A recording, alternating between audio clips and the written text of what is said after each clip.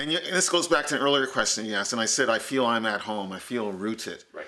But that doesn't mean that that all I can ever say or all I can ever explore is the history, psychology, politics, economics, uh, theology of being African Canadian, of partial African American, partial Indigenous, probably partial European uh, background, raised in, a, in, an English language, Celtic uh, environment, also impinged upon by Acadian.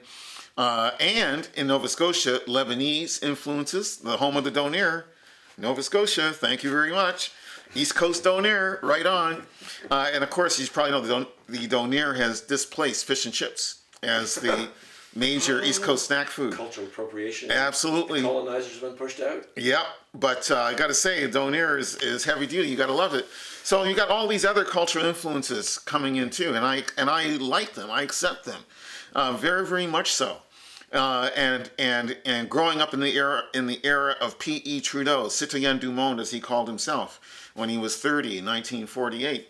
Um, and the whole idea of multiculturalism and, and being open-minded and tolerant and accepting of, of others and, and, and being anti-racist, anti, anti-sexist, anti-homophobic, uh, and, and so on. Uh, all of that means that I have a base that is partially my birth culture, partly my birth ethnicity, partly my DNA, and all the history that creates my DNA, because we are all of us products of history, every single one of us. No matter what our DNA is, it got into us through historical processes of migration, of war, of survival of famine, survival of disease, uh, uh, conquest, uh, either as conquerors or being conquered, uh, and so on. And so we are all many splendid things, as so to speak, as a result often of extremely negative histories. I look at myself now and I say, I am the positive result of extremely negative histories slavery, imperialism, colonialism.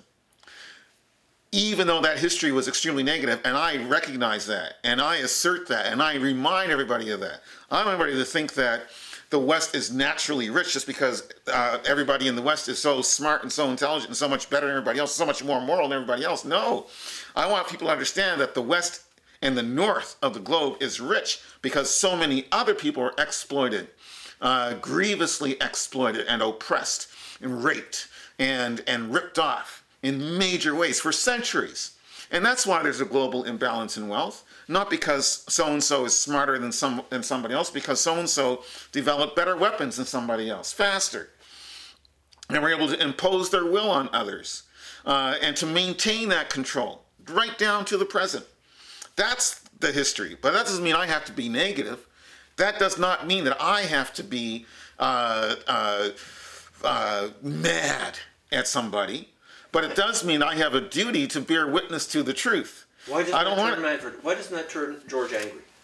George George goes the positive route, which is exhilarating, but George could also go the angry route. What's that about George who doesn't go that way? Is that way? Uh, because ultimately, I'm not interested in causing pain to other people. I'm not interested in inflicting harm on other people. What I'm interested in is getting to a point where everyone is willing to believe that sharing is better than simply taking and accumulating and grasping and clutching and stealing uh, and so forth. And then and then trying to tell and trying to tell the victims of that theft oh you're responsible because you're lazy. You're responsible because you have the wrong religion. You're responsible because you're brown or yellow or black or red. And so therefore or your or your parents were criminals. You're poor white because you're you're illiterate you're uneducated so on and so forth. Why can't we have education systems that really are for everyone and that really do work hard to give everyone enough talent and skill and background knowledge that he or she or they can move into uh, a middle class or upper middle class existence. And by the way, for the record, I'm not opposed to the rich. I'm not opposed to the rich as much as, as a socialist as I am. I'm not opposed to the rich, but I do want the rich to pay their taxes. And I want them to pay a good share of those taxes. And if they don't pay those taxes, they should go to prison. Pure and simple. Why did you become a poet? Why didn't you go into politics? because I'm not moral enough. I'm not moral enough to stand up there and say, everybody uh, do this or do that or believe this or believe that and follow me and follow What do that. mean moral enough? No, I'm you not. Mean I don't- authoritative enough? You mean No, full of yourself enough? No, that's an Well- unfair smear on a politician. I don't mean to do that. it's not I necessarily unfair. I do think you got to have a little bit of, of chutzpah. You got to have some cojones. You don't You got to have. what I just heard in the last